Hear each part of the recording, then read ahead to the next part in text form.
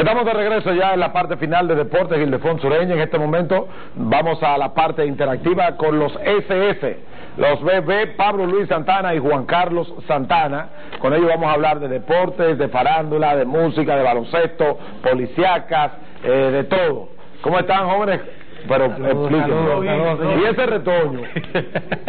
explíquenme. ¿Qué es eso? Es el cuarto bate. sí. La nueva adquisición. No me diga. Sí, sí. ¿Y cuál es el, el nombre de del susodicho? Eh, que lo diga el mismo, claro. Luis Ángel Ulloa Flores. Luis Ángel Ulloa Flores. Le llega el apellido, ¿verdad? Sí, las flores, las flores, ese nombre de flores me De Julia Flores. y a Julia, ¿verdad? Sí, sí, ese- Eh, bien, ¿y qué, pero, ¿y, qué él pretende? ¿Qué tú, dime tú, ¿qué tú pretendes, mi niño? Dile, papi, ¿qué tú quieres ser? Yo, cronista de deportes. Ya. Ay.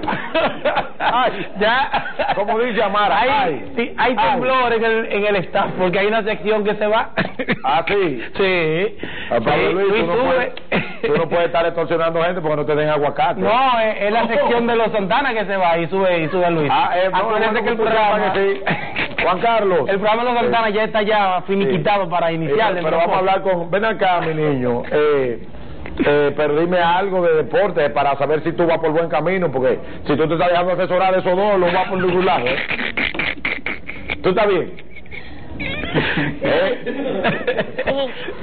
Dile que le haga la pregunta y tú respondes. Me papi. encantan los niños, me encantan los niños. Eh, Juan Carlos, eh, ¿qué es lo que pasa con el asunto del play? Que los Yankees dicen que no, que los Yankees dicen que sí, le llevaron una información errada. ¿Qué fue lo que pasó ahí? Bueno, eh, definitivamente de que en principio lo que parecía una gran noticia Sí. para el país, la construcción de un estadio. Para que- mi región. Sí, no, claro, para la región este que cumpliera con los estándares de grandes ligas, luego se convirtió como en una nebulosa porque no se sabía a ciencias ciertas eh, realmente la presencia de ejecutivos de los Yankees de Nueva York en Palacio Nacional para hablar con el presidente de la República. En primero, en, en primer lugar se, se habló de una inversión de los Yankees de 120 millones de dólares, por lo menos esa fue la nota de prensa que Sí. salió de Palacio De y lo que recogió la prensa que estaba eh, presente en ese encuentro. Más adelante se emite un comunicado por la vicepresidenta de Relaciones Públicas y Negocios del, del De los Yankees, eh, Alice Macmillan, me parece que es el nombre de la señora, diciendo que el apoyo de los Yankees era moral, pero para nada económico. Entonces ya esto despeja eh, lo que se pensaba como una inversión Que se del sector desligaba de los planes de, de López, el vicepresidente para América Increíble, Latina. increíble eh, el avispero que ha causado esto porque la noticia salió de República Dominicana, llegó hasta la ciudad de Nueva York y por eso ellos enviaron el aclarando de que no tenían la intención como organización de invertir ese dinero en República Dominicana. Entendemos de que debe tratar de esclarecerse este caso porque, repito, lo que parecía una gran noticia para el país en materia a- en materia deportiva ahora ha quedado como en tela de juicio porque no sabemos convocar ¿Quién al mintió? presidente- ¿Quién mintió? convocar al presidente de la. República para hablarle de un proyecto de inversión privada y Que después- ser una total y que después el equipo, la empresa, la institución tenga que emitir un comunicado Sí. diciendo de que no fue así. Me parece que ¿Quién mintió? Roberto quedaron Roberto parados. Félix López, los Yankees. ¿Quién mintió? Pero eh, del lado, eh, porque hay que decir una cosa y otra, del lado de las personas que estuvieron presentes, como es el señor Félix López, vicepresidente de los Yankees, estuvo además el arquitecto del conjunto de los Yankees en el Palacio, eh, aparentemente a ellos como que le dijeron otra cosa, porque Bueno. presentarse ahí ante el, el presidente de la República, ante una nación, para decir una cosa y que luego resulte otra. Sí, eso sí, eso Nos hemos no. quedado con la boca abierta Sí, realmente. eso es Y así. lo lindo que nadie ha dicho nada después que la vicepresidenta del, del conjunto habló sobre desmintiendo el caso. Nadie ha dicho Está nada. complicado ahí. Está complicado, vamos a dar eso hasta ahí. Eh, Pablo Luis, ¿cómo va el baloncesto? Bueno, eh, local o internacional. Pero hay Hay baloncesto internacional, porque la NBA está, pero ¿y qué? ¿Lo que internacional? Usted va a salir a decir Pero- que LeBron James está vacacionando. ¿Qué me importa a mí no te LeBron James?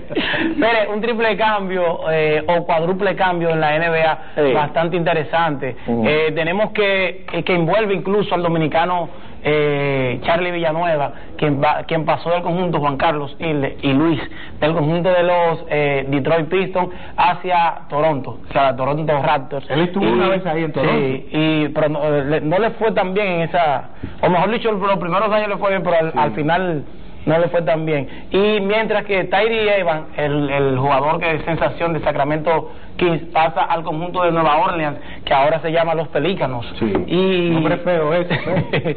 Sacramento entonces va a recibir al venezolano Gravis Vázquez, un hombre que es un jugador muy intenso y excelente base, y cada día más va, madu- va madurando y obteniendo con- más conocimiento del juego. Mientras que Portland otro de los equipos envueltos en este cambio va a recibir a Robin López, el hermano de, de, de Brook López.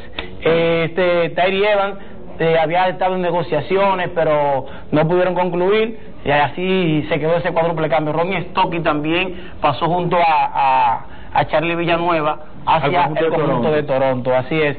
Eh, otro cambio, o mejor dicho, otra, contra- otra, otra contratación de la NBA que tiene como fecha ya, Juan Carlos, para declarar todos esos cambios de manera ya oficial el día 10 El de día este 10. mes, si Dios lo permite. Eh, J.R. Smith, depo- después de tanta especulación de si se iba, me quedo, varios equipos interesados en sus, en sus servicios, eh, Detroit, Milwaukee y también los Pistons estuvieron interesados, Dallas también interesado, pero decidió firmar con, con el conjunto de Nueva York. Es decir, quedarse en Nueva York. Se quedó, se quedó en. Nueva York y eh, por 24.7 millones Miren, de dólares, sí. cuatro años. Sí. Eh, otro cambio importante, irle también, este Kai Colbert se queda eh, 24 millones por cuatro temporadas con los Halcones, Pablo Prillón, el, el argentino, también se queda con Nueva, con Nueva York por dos temporadas. Muchos cambios, Sí, ¿eh? bastante, 6 millones de dólares. Eh, Manu Ginóbili decidió también quedarse por dos años más con el conjunto de San Antonio. Carlos Delfino, el otro argentino. Eh, Después de recibir varias ofertas de Oklahoma Thunder, Indiana Pacers y Golden, y Golden State, decidió quedarse tranquilo ahí eh, para firmar con el conjunto de Golden State Warriors, equipo que está interesado en, en esta semana hacerle relucir que está interesado en Dwight Howard. Van a dejar Howard Se finalmente sumó para Golden ahí. State a la- a la- Eh, Juan Carlos, eh, señor. hoy en esta semana se produjo Julio 2, en donde se firmaron un- una serie de jugadores eh, importantes, pero hay uno que se llama Marcos Diplan, que pertenecía a la Academia de Luis Polonia, que le dieron un dineral. Yo vi el, el, el, el tuit que, el tuit que, que él le envió, lo envió también al programa de extremo a Sí. extremo, eh, dando a conocer ya la firma oficial de Diplan, que es un lanzador, como usted bien ha dicho, que pertenece a la, a, a la academia de Luis Polonia, que tiene, ha reclutado muchos jóvenes talentos que estarían firmando en lo adelante. Mire, ¿Y el hijo de él en qué quedó? no, aparentemente quedó, no está, no está en béisbol. Michael Ok. Zapata, 1.6 con los Medias Blancas de Chicago. José Almonte, jardinero con Texas, Muy bueno ese 1.8. Jason Irizarry, que es, él es sobrino de David Cruz. Ex jugador de grandes De los ligas, de del los Tigres Licey, del Licey, torpedero. firmó por 1.3 con el equipo de Texas, Rafael Devers, Ujú. tercera base, 1.5 con el equipo de hoy, Marcos Diplan, 1.3 como, como decía Inde, 1.3 con Texas, ya confirmado también por Luis Polonia, y Eloy Jiménez, que ha sido la gran atracción. Hoy sábado eh, estuvo, se, se, hizo una rueda de prensa en San Cristóbal, presentando, valga la redundancia, a Eloy, a otros jugadores, y terminó con un show artístico. Eso fue eh, o, en estos momentos todavía se, se está bailando ahí en San Cristóbal, ya la, la Dominican Prospect League dándole la, salida, porque ya no va a pertenecer a esa liga y ha pasado ahora al profesionalismo. Muy nutrida la cantidad de peloteros que fueron firmados en este julio 2. Miren, tenemos que irlo porque eso no hay eh, que algunos breves, algunas Pre- pre- breves. otros breves. Pregúntale este joven, breves. antes de irse, eh, a qué equipo él pertenece en la pelota invernal. Bueno, ¿A qué equipo tú perteneces en la pelota invernal, mi niño? Al Licey. Como debe de ¿Y por qué Sí. Licey? Pablo Luis, tenemos que ir. Algunas breves. Mire, Manny Quesada debutó anoche con los Huracanes de Puerto Plata, después, eh, después de venir de la Liga ACB con el Juventud en España. Eh, también eh, Fortuna, Manuel Fortuna ya está jugando con los Leones, do, dos victorias inmediatamente desde que se integró. Pero el Bollito, como el Bollito, ahí vamos, el Bollito está de vuelta también con los Titanes luego de sufrir eh, una lesión. Los Titanes eh, Con los perdón, con los Huracanes. con los huracanes, los titanes están, el equipo, el, que me- el equipo que mejor está jugando definitivamente, Gerardo Suero, el hombre está matando la liga, y los cañeros lamentablemente están transitando por un mal sendero y estamos a la Eh, ¿Y espera. quién es esa que está ahí?